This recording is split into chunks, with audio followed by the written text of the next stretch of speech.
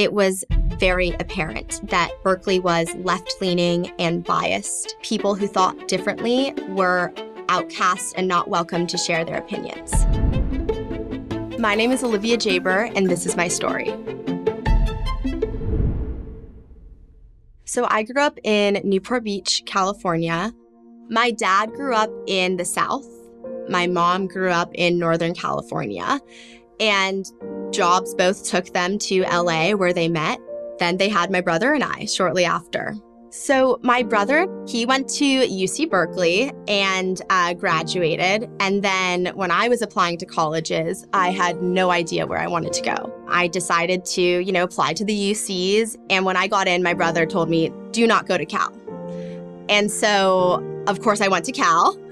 And I quickly realized, you know, why he had given me that advice. Politics were heightened on that campus in a way that I had not expected. In my experience, it was very apparent that Berkeley was left leaning and biased, and that people who thought differently were outcasts and not welcome to share their opinions. When you walk onto Berkeley's campus, you are immediately made aware that they want you to see color and that they want you separated based on the color of your skin and your background. I had never grown up around people that had become so unable to continue on with their normal day because of something going on in politics. For instance, I remember when I was in my freshman year dorms and Trump got elected, I walked out of my dorm and people were crying. When that happened, and then I had emails from my professors telling me that I didn't have to come to class because they were so distraught by the election results and they understood that we needed time to cope as students. I didn't understand that. It was kind of that first like red flag to me of the kind of emotional strength that I'm seeing lack in our generation a lot. Um, especially on college campuses. On that same freshman year, there were a ton of speakers that were also coming to campus that my professors didn't like, that the administration didn't like, and that my peers especially didn't like. From Ben Shapiro to Ann Coulter, Milo Yiannopoulos, these names are polarizing, and some of their ideas are more radical than others. Um, and at this point, I too saw them as radical because I had not really developed my beliefs yet. I remember the the riot that broke out and our student union was literally set on fire and the glass was broken. Some of my peers, I saw people that were in my classes out, you know, causing a ruckus. Berkeley is the home of where the free speech movement was founded. And all of a sudden, students don't want free speech if it makes them uncomfortable. I thought education was about being uncomfortable. I thought it was about confronting the things that even scare you most because, in the scheme of things, you know nothing as a student. You're trying to learn from your professors, but half of the ideas are blocked off out of that room before you even enter it. If you are a student on a college campus in today's age, you are not learning this unfiltered, you know, idea of what capitalism is and um, what socialism is. You're learning it through a lens that is based in indoctrination. Anything from safe spaces to microaggressions to trigger words. And that's not the point of college. And that's creating this echo chamber, which, you know, you're not letting other ideas in the room.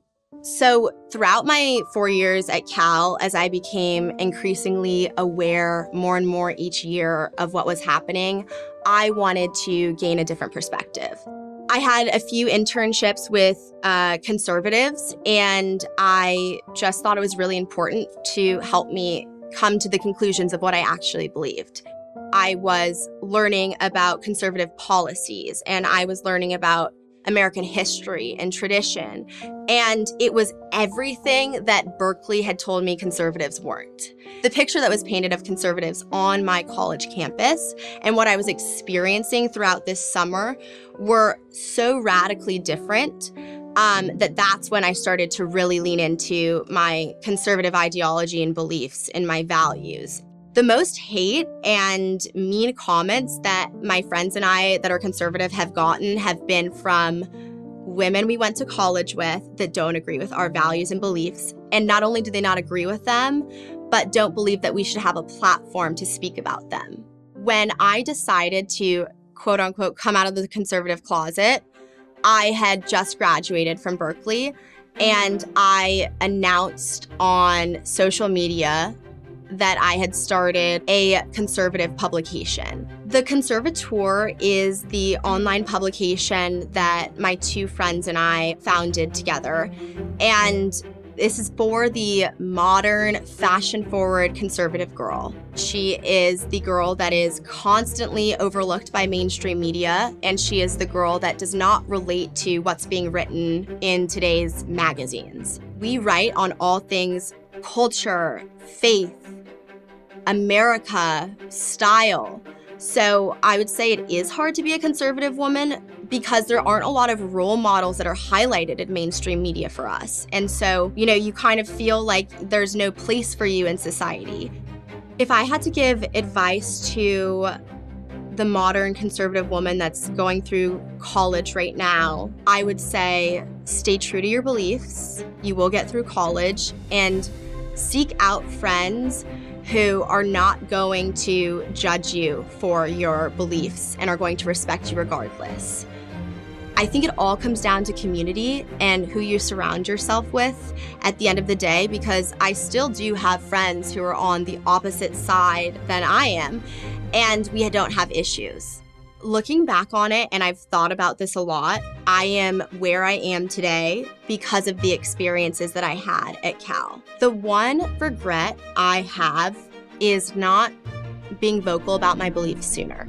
And I say that very intentionally because the week that I announced that I was a conservative, I experienced death threats. I experienced sorority sisters telling me that they were upset that they were even connected to me in any way. Still, it is the proudest thing I've ever done. I have no regret because of all of the positive that has come from it. Being proud to be who you are and not having to hide in the corner is the best feeling in the world. It honestly gives me the chills. I am just so proud to be a conservative and I'm so proud to love this country. It's given me such a sense of purpose.